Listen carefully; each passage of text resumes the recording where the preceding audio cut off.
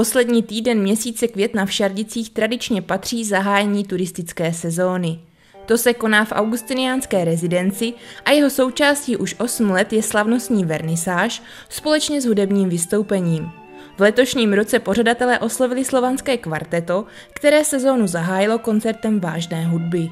Asi nějakých 10 eh, roků minimálně spolu fungujeme, nemáme nějaké přesné číslo a náš soubor vznikl eh, za dob studií na Janáčkové akademii, eh, kde v podstatě co by spolužáci jsme utvořili tady toto seskupení a na to v podstatě navázala potom řada koncertů, soutěžních, soutěžních účastí v zahraničí i v České republice.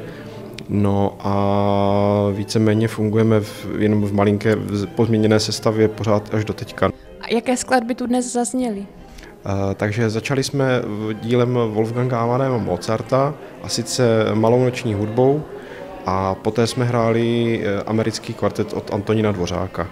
Návštěvníci mohou v rezidenci zhlédnout nově instalovanou expozici, která je tematicky zaměřená k stému výročí České republiky. Exponáty nám zapůjčili občané, které jsme vyzývali, aby doma pohledali různé eh, exponáty nebo různé dobové artefakty z té doby a hlavně fotografie svých předků.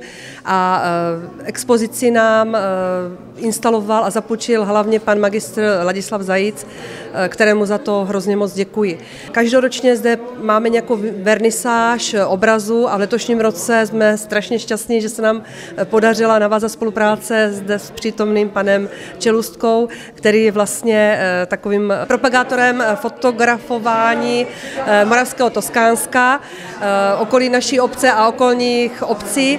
Takže letos jsme hrozně moc rádi, že nám instalovali a zapůjčili své fotografie, které jsou zde vystaveny tady v těchto prostorách rezidence. Mohl byste nám přiblížit vznik projektu Moravské Toskánsko?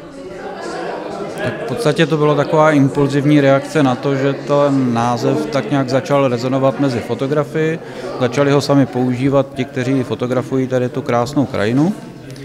No a já jsem zaregistroval webové stránky a přišel jsem s nápadem začít to propagovat, ale jako vždycky já věci nedělám sám, vždycky to dělám s někým dohromady, takže jsem pozval skupinku fotografů, jestli by měli zájem se tohoto projektu účastnit. Oni poskytli svoje fotografie a tím se jakýmsi způsobem nastartoval web.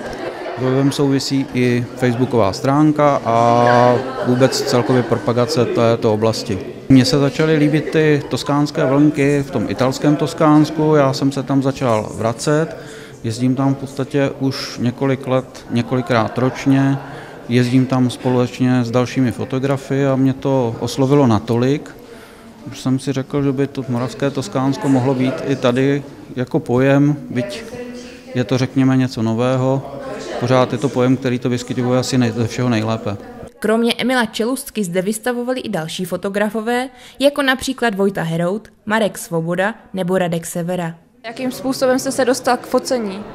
Tak focení jsem začínal jako už asi v 18 rokách a teda hodně zajímala živá příroda, takže se fotil mravence, jo, začínal jsem makro, crnky, a začínal se právě líbit ta krajina kolem Mistřína, Šardic, protože jsem chodil s otcem většinou jako k večeru na lovy a viděl jsem na to krásně miluje tu krajinu, takže pak se nějaké snímky posílal do soutěží, ale ty se dříve nechytali, a vlastně potom nástupem digitálu, takže člověk trošku mohl upravit ten jas kontrast, tak už vlastně došlo na nějaké se posílat do soutěží a nějaké už teda ty snímky dostali ocenění a tak vlastně to člověka nakopne a začal teda víc fotit tu, vlastně tady tu krajinu kolem Šardy, vlastně to Moravské Slovácko, není už teda hodně přezdívané, nebo má takovou značku Moravské Toskánsko. No. Nové expozice v augustiniánské rezidenci bez sporu jsou velmi inspirující.